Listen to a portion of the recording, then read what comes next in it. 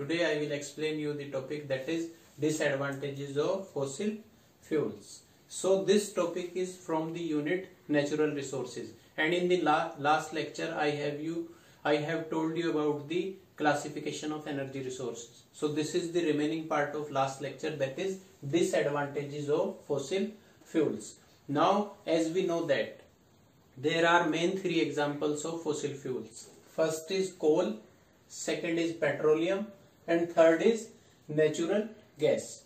All these fossil fuels are non-renewable source of energy. So this is the first disadvantage or the limitation of fossil fuels.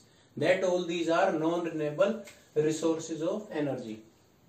Now in coal there are four different category of categories are there. First is peat, lignite, bituminous and anthracite. Peat is the poorest quality of coal and anthracite is the best quality of coal. In petroleum, three major products are there.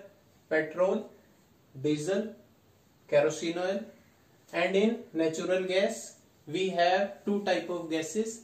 First is LPG, LPG for liquefied petroleum gas and second is CNG, compressed natural gas.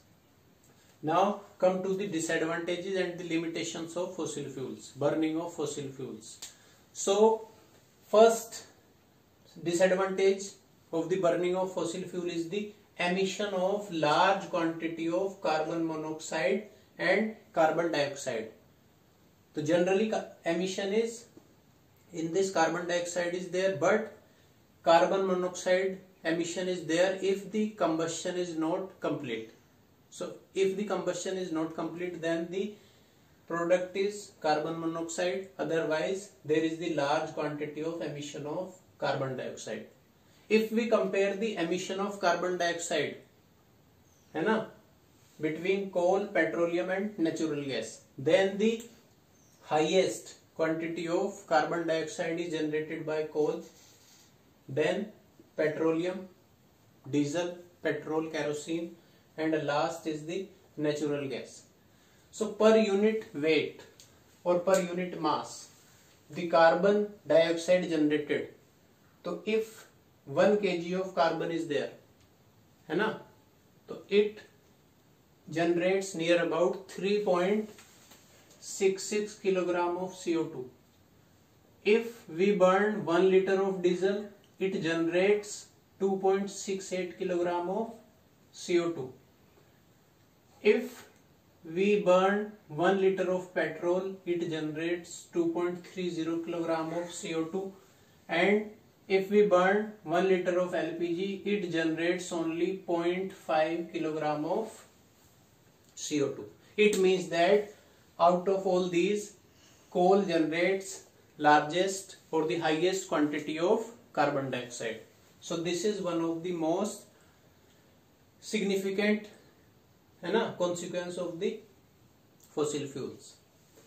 Next is now this large quantity of carbon dioxide cause global warming which consequently responsible for the climate change. So we can say that burning of fossil fuels are responsible for the global warming and the climatic changes. Second disadvantage is burning of fossil fuels generates large quantity of NOx and SOx. NOx means oxides of nitrogen. There are seven oxides of nitrogen and SOx means oxides of sulfur.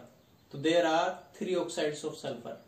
These oxides further responsible for the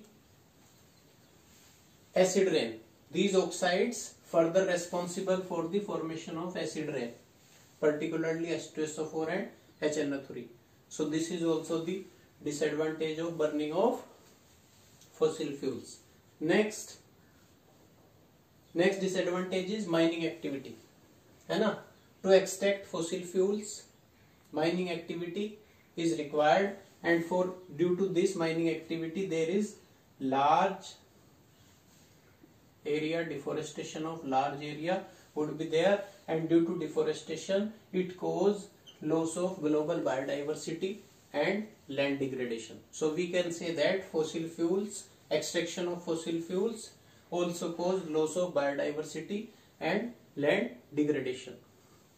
Next disadvantage is the burning of coal is the source of mercury Hg.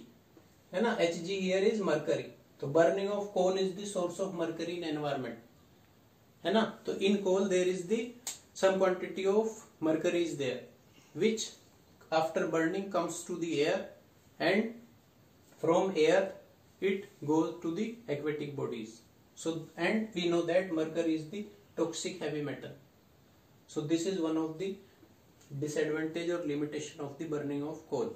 Next is the problem of oil spills.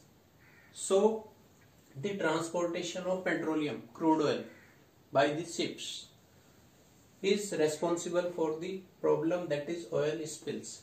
Again oil spill is a problem and cause loss of marine biodiversity. and last disadvantage of using fossil fuel in this particularly the natural gas.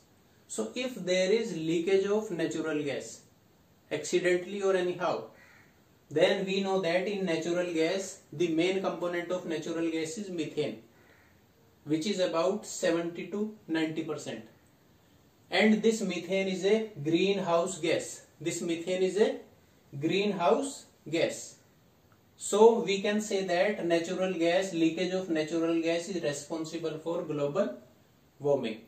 So these are some major consequences of burning of fossil fuels. Thank you.